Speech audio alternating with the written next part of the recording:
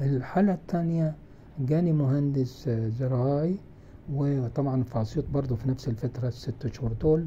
فقال لي أنا عندي حرقان في البول وتنقيط وحصرة ومعرفش إيه وحاجات من دي يعني.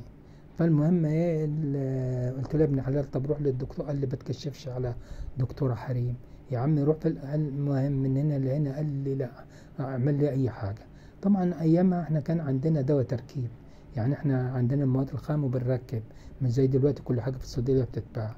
طبعا التركيب كان أحسن بكتير من الدواء اللي بتباع جاهز.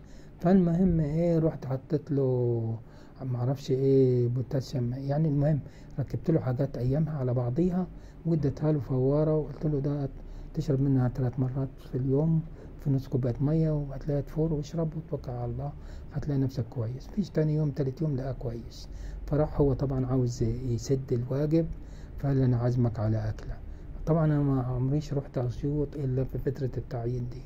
فرحت فراح عزمني على أكلة اما اديني الغيط معاه وراح جايب لي من الحاجة اللي بتطلع بوسط البرسيم اسمها ضعضيع يعني والله ناس اسمها كده.